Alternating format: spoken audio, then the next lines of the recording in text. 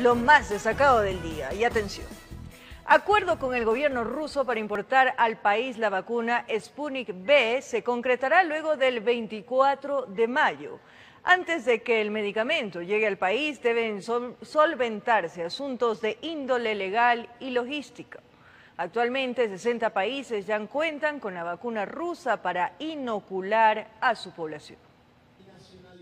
Luego de conocer que el presidente electo Guillermo Lazo y su equipo de gobierno buscan traer la vacuna rusa para sumarla al plan de vacunación nacional, fuimos hasta la embajada del país euroasiático para conocer los detalles del acercamiento entre los dos gobiernos. Mi presidente reaccionó muy positivo.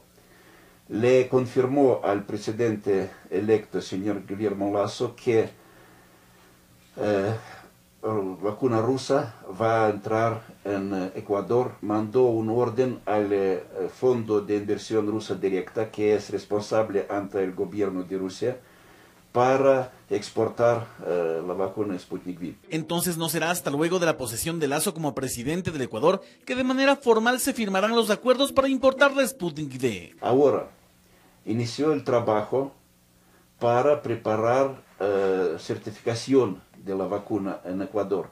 Esa es la condición principal para entrada de un medicamento extranjero en otro país. Debido a eso es que no se puede hablar de cuántos cargamentos y unidades de la vacuna llegarán al país. A eso se debe sumar que según el embajador ruso, Rusia primero necesita completar las dosis para sus ciudadanos. Tenemos que contar, tener en cuenta que Rusia, como otros países que eh, producen su vacuna, en primer lugar, eh, tienen la tarea principal como el presidente electo de Ecuador vacunar su población.